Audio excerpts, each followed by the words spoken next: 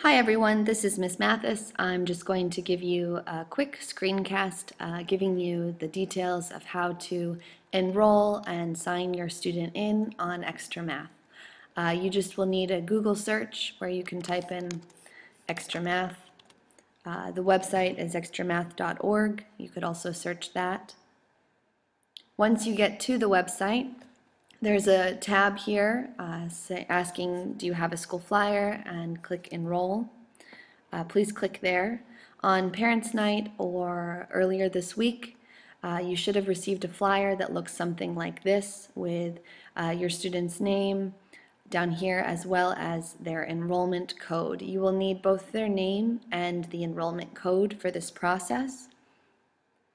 Right here, you're just going to type in your parent email address. Uh, this email is where your student's PIN code uh, and reports will be sent.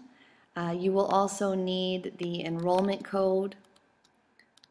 Again, the enrollment code was located right here on that parent flyer that was sent home with the handbooks. I have already registered my student, Danny the Dragon, so I will not click next. Uh, but if you do, you should receive an email that looks something like this. It'll have uh, your student's name as well as a PIN code. Uh, this PIN code you will need to sign your student in. Um, there's more information that you're welcome to review on your own when you receive your enrollment email. Um, so after you have enrolled, you need to go up here to sign in. Once you are at sign in, um, I have already signed Danny the Dragon in, but I will go ahead and remove him so I can show you the process again. Um, here you need to type my email address, which is smathis at danubeschool.com. Uh, you need to use my email address because I registered our class, um, and this will make sure that the data uh, for your student is sent to me so that I can use it to inform my instruction. Uh, you need to type in your student's name, mine is Danny the Dragon, and enter your PIN code. Again, the PIN code was the four-digit number that came to your email. And simply click sign in. Uh, once you do this, it will bring up the program, and uh, there will be a person who gives Welcome a blurb. back to Xtra Math. I'm glad you keep coming back because I want you to be good at math, and that takes practice. So let's do it. Go ahead and click the green arrow. There'll be another message. Let's do another practice, this time with these facts. Do you want to know the secret to answering the questions before I do? Questions come back over and over again, so try to remember the answer rather than figuring it out. Remembering is faster. Try it this time.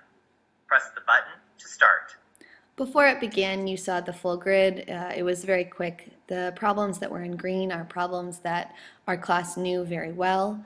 Uh, we did the diagnostic assessment to, together as a group. Uh, these problems in yellow are problems that we are doing pretty well with but could get faster at. Um, these uh, are the only ones that we'll be working on during this session.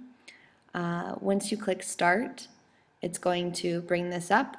Uh, your goal during this practice is to answer the problems before the teacher does.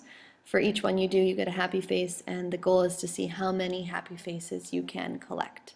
Uh, if this teacher is a distraction, you can click this button to remove him.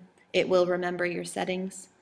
Uh, and if your student is struggling with using the keypad to enter the answers, you can also bring this up where they can actually click.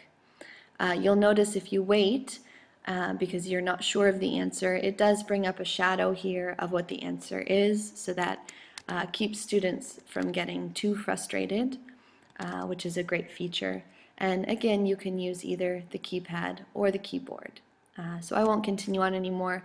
I do ask uh, when your students are logged on, do everything you can to ensure that they do finish the full session uh, and they are prompted with an arrow that says sign out. Um, this will uh, make sure that I'm getting full data rather than an incomplete session. Uh, if you have any further questions, uh, please don't hesitate to send me an email or stop by. I'm happy to help out if you're having problems. Um, another area before I go that you might want to check out is this parents or teachers area. Uh, you can sign in, and this is a space where you can uh, track your own students' learning. Uh, and we will be using this classroom tab within our room for additional extra math practice at school. Uh, again, any questions, comments, concerns, please send me an email uh, or stop by after school. I'd be happy to talk to you uh, in either of those forms. I hope this was helpful and answered some of your questions. Uh, and I, I also hope that it is a valuable enrichment resource for you guys to use at home uh, to help your students continue progressing. Um, thanks so much for watching.